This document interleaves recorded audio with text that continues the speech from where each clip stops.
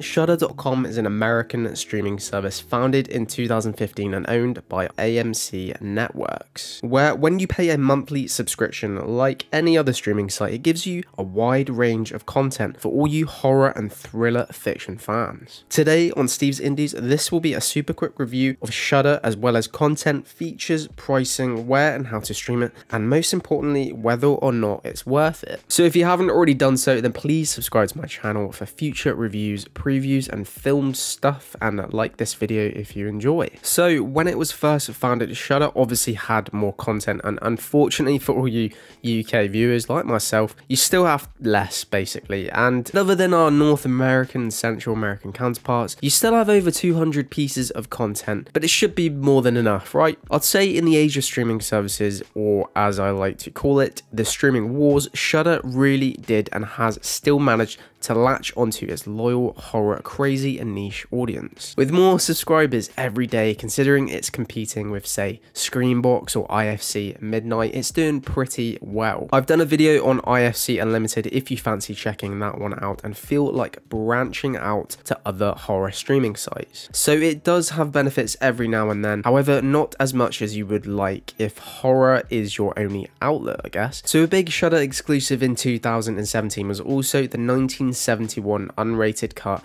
of The Devils, which at the time was actually to this day remains one of the most controversial films ever made. But still, the content ranges from proper B movie laugh out loud rubbish, like The Mutilator and of course Phantasm and Oh Candy Corn, just Creepshow, things like that that are really, really bad. But then you also do get your very, very good films, like Thirst, which has the Japanese and the original, and also films like Donnie Darko, which is incredible. And I guess you couldn't really say it's a horror, but still, it kind of explains to you the range of films that they have. It's not just your cheesy B movie type of horrors. So, like Netflix and Prime, it's on demand, click and view, watch anywhere, anytime. I didn't have any issues with playback at all, but I guess it really does depend on your internet connection. For me, I didn't have any issues with this. But there aren't just films on Shudder, it includes something called Shudder TV, and it is constant streaming. So, for example, you get live films just random films. Earlier on, they were playing The Curse of La Llorona, and at the moment, they're playing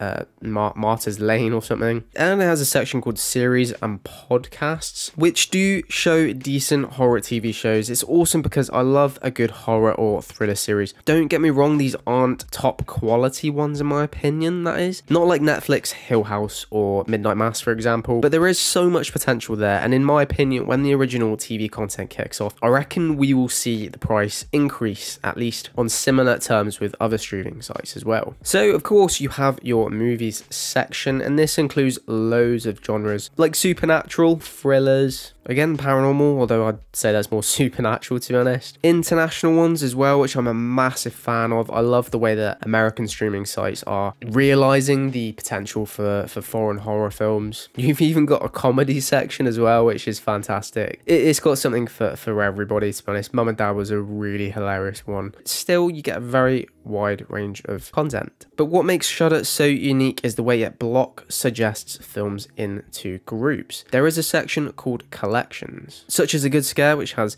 37 titles, and also a section called Horror 101, which includes the horror, or the foundations of horror, should I say, going all the way back to films like White Zombie and Nosferatu, that were two of the first zombie films ever made. Oh, and of course, Curse of Frankenstein, and the original 1974 Texas Chainsaw Massacre. So it does have everything. And with sections or collections, should I say, like this, you can tell that it really is an homage to, to the horror in, in general. So the sub genres as well comedies, terror, neo slashers. I actually don't know what this is about. I'm guessing more modern day uh, those forms of the, the slasher genre as well, which could be really interesting. In a previous video, I actually said that for me, that was actually a dying genre or sub genre. So it has a lot of different things that they've collected together. The wide variety of, of content on this is is quite vast at times so it's really good to have a, a collections section. It's kind of similar to how Netflix does it in its suggestions, but with this, it seems like it's more in depth. Like other streaming sites, it has a My List section, which is essentially a watch list for later or to watch again,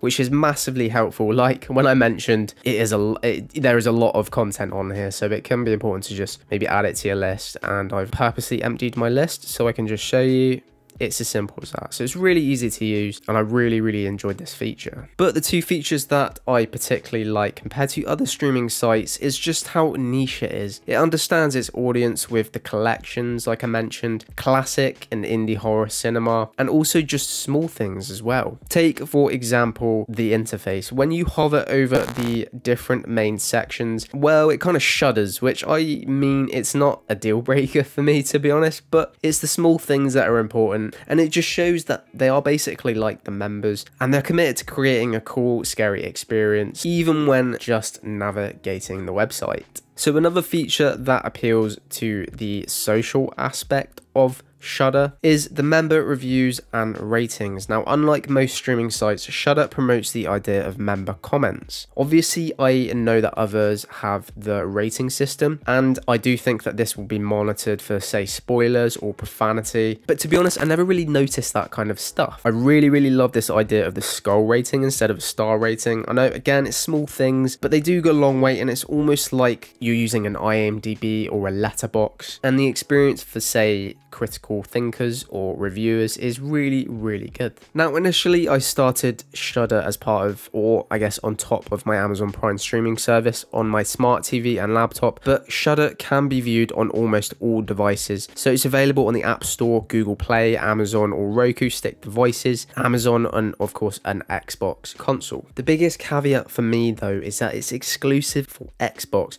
So, unfortunately for all us PlayStation gamers, though a smart stick is cheap and if you have a smart TV then it's pretty simple to stream. So bit of a small problem really. It's important also to mention that Shudder doesn't always stream its content in 4K or HD. In fact, the majority of films are in 720p or 480p, which isn't an issue for say your older content like your Texas Chainsaw Massacre or your Nosferatu for example, the obvious. But for most new things, it's a massive thumbs down for me, especially considering considering Netflix originals are usually in such good quality, particularly as documentaries. So on to the pricing. The prices are around $5.99 per month in the US and that equates to around £3.99 for UK viewers. There is an annual option which sees you paying less per month over one year, but let's face it, for all the content you are getting, a monthly price is, is a thumbs up anyway, and it's quite cheap really for